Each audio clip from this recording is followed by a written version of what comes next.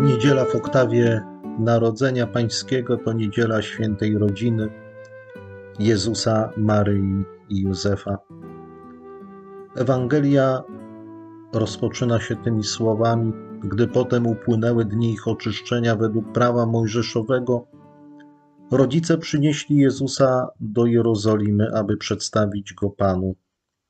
Tak bowiem jest napisane w prawie pańskim: Każde pierworodne dziecko płci męskiej będzie poświęcone Panu. Mieli również złożyć w ofierze parę synogarlic albo dwa młode gołębie zgodnie z przepisem prawa pańskiego. Tak rozpoczyna się ta niedzielna Ewangelia, ale poprzedza go jeszcze jedna krótka, ale istotna informacja, która nie znalazła się w lekcjonarzu mszalnym, mianowicie gdy nadszedł dzień ósmy i należało obrzezać dziecię, nadano mu imię Jezus, którym je nazwał anioł, zanim się poczęło w łonie matki. Tak więc najpierw Józef i Maryja zatroszczyli się o to, by powierzone im dziecko zostało obrzezane zgodnie z prawem mojżeszowym, chociażby Księga Kapłańska stanowi o tym krótko. Ósmego dnia chłopiec zostanie obrzezany. Akt ten włącza Jezusa do wspólnoty potomków Abrahama oraz zobowiązuje do wypełniania prawa i wierności przymierzu. Jednocześnie dziecku ma być nadane wtedy imię. W tym przypadku imię zostało zasugerowane wcześniej przez anioła Gabriela podczas zwiastowania, kiedy powiedział do Maryi te słowa: Oto poczniesz i porodzi syna, któremu nadasz imię Jezus.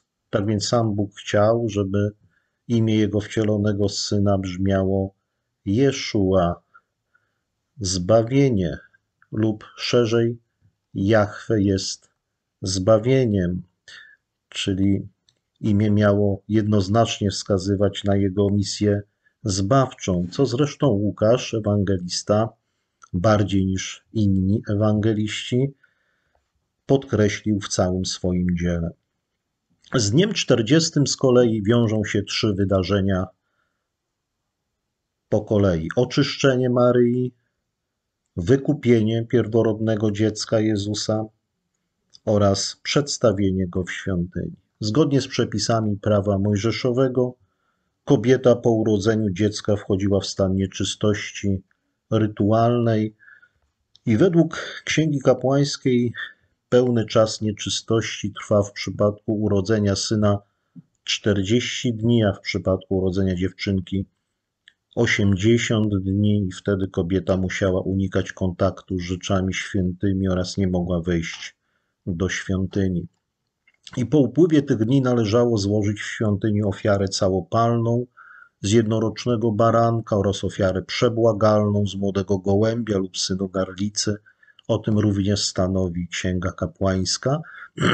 Rodziny ubogie natomiast, których nie było stać na złożenie w ofierze baranka, miały obowiązek ofiarowania przynajmniej dwóch synogarlic lub dwóch młodych gołębi, jednego na ofiarę całopalną, a drugiego na ofiarę przebłagalną. O tym również mówi nieco dalej Księga Kapłańska.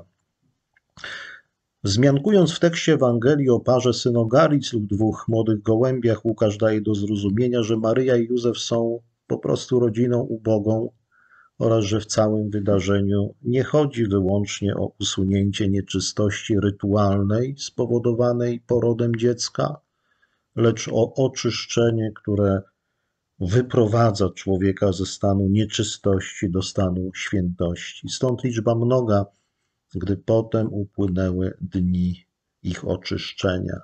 Ta liczba mnoga uwzględnia i Maryję, i Jezusa. Również Jezus musi zostać oczyszczony ze wszystkiego, co w kontakcie ze światem czyni go nieczystym, czyli z tego, co oddala go od Boga, ponieważ ma on być poświęcony Panu.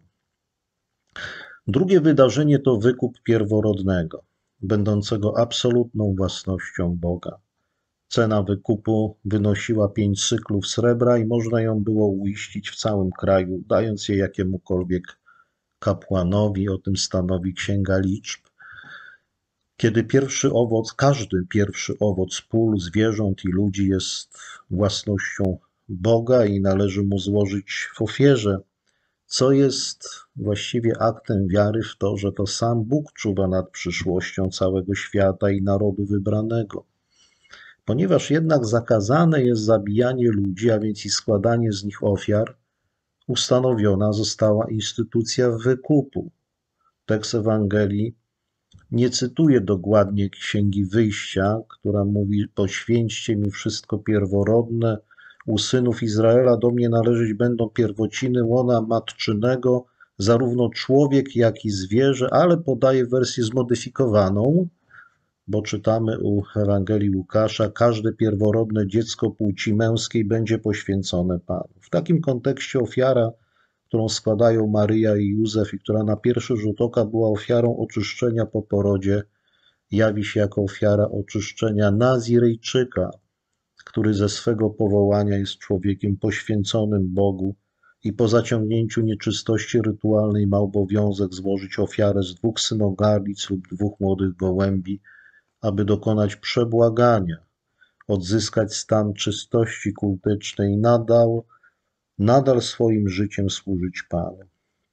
Łukasz jednak ciekawe nic nie mówi o wykupie Jezusa przechodzi od razu do trzeciego wydarzenia, do przedstawienia, czyli niejako powierzenia Jezusa, jakby chciał ewangelista powiedzieć, to dziecko nie zostaje wykupione i nie zostaje zwrócone rodzicom, ale przeciwnie, zostaje osobiście oddane Bogu w świątyni na jego całkowitą własność. Zresztą użyte tu greckie słowo paristana i znaczy zarówno przedstawić, jak i ofiarować czyli dokonać tego samego, co czyni się z ofiarami składanymi w świątyni.